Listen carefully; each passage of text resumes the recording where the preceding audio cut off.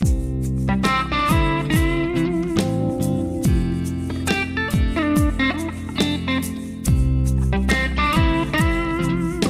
name's Aaron Adams. I'm the head brewer at Hydro Street Brewing Company in Columbus, Wisconsin. I went to the University of Montana where I worked towards my PhD as a forest entomologist. I studied um, forest insects, looking at bark beetles. Montana is where I learned to brew beer. So I started out extract brewing with a partial mash and uh, did that for about two years. And then at that time I moved to all grain. At the end of my time in Montana, I got hired on the University of Wisconsin. And eventually we bought a aluminum 15 gallon pot.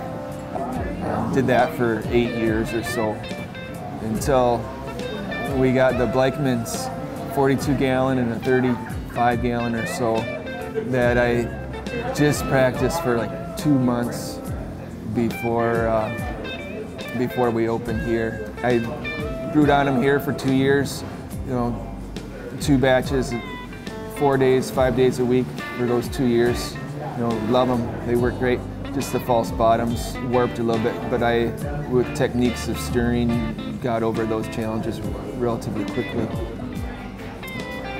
I was doing 25 gallon batches approximately in my Blichmann kettles that were on my, basically my stovetop. We uh, gravity feed to the basement. I was using uh, counterflow wort chiller, gravity feed to the basement into my plastic 55 gallon drums that they store malt extract in. We got them here and there. Then with help from the City of Columbus and Columbia County, we got a revolving loan to purchase our new system. The new system was made by uh, Peterson Custom Stainless in Watertown, Wisconsin. The local company getting something of higher quality with a better resale. And those were the reasons why we did that. Um, we ferment down in our cellar here in uh, 55 gallon fermenters. The most I've had full so far is about 28 or so at one time. In the past, I've, with my one barrel system, was able to brew five different varieties in a period of two days. Using that system, we kept about 12 beers on tap all the time in the brew pub. And it was relatively easy. You can get the variety up in a short period of time. Uh, now we're making you know, 90 to 120 gallons of beer at a time uh, over really over the period of two days as well. Uh, brew days have gone down with the new system due to uh, cleaning and some maintenance, which is uh, fine because we get more beer.